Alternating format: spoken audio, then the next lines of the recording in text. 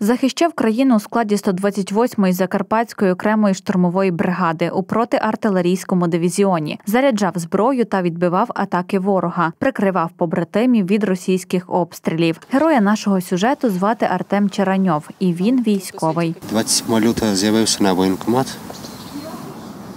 Після того відвезли нас в Мукачево у бригаду получати вещі. В той же день ввечері відправили у Винограді у- в дивізіон. Йому всього 23. Побратими називали бійця просто Тьомчик. Під таким позивним юнак і виконував бойові завдання. Відбивали позиції. У нас була МТЛБ, відкапчували до неї пушку, перевозили на позицію. Ну, перед цим окопувались,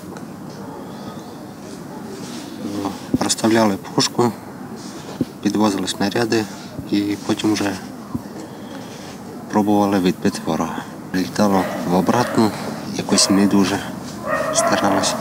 Війна розпочалася для Артема на запорізькому напрямку. Далі Херсон. Погодні умови не сприяли. Ворог скеровував на наших захисників всю можливу техніку, та вони стояли попри все, адже знали, що захищають рідний дім та українців. Через два дні був обстріл. Сказали, що загинув один. По початку було страшно, як переїхали туди. А далі вже якось воно пішло само з собою.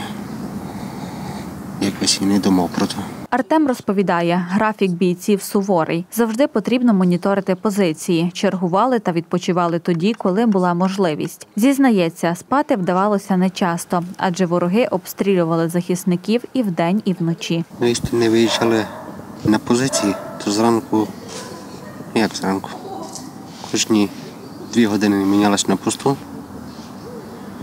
У вільний час або пробували відіспатись, або щось робили.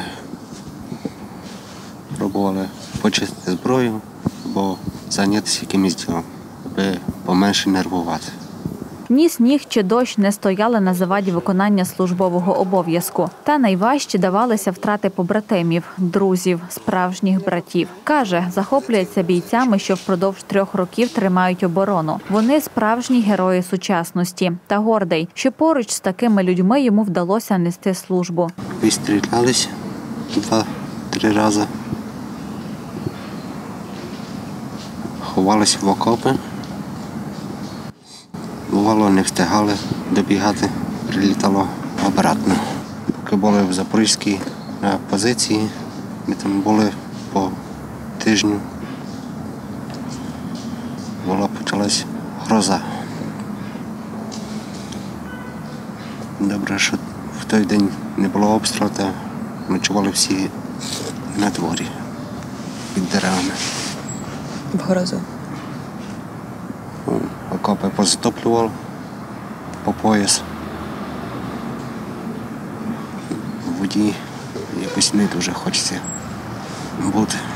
На позиціях Артем Череньов перебував 10 місяців. Повернувся у рідне Закарпаття у січні минулого року. Нині несе службу у Мукачівському РТЦК та СП. Лікується та залишається корисним державі тут, у тилу. Мріє про стосунки, адже планує створити сім'ю у вільній незалежній країні.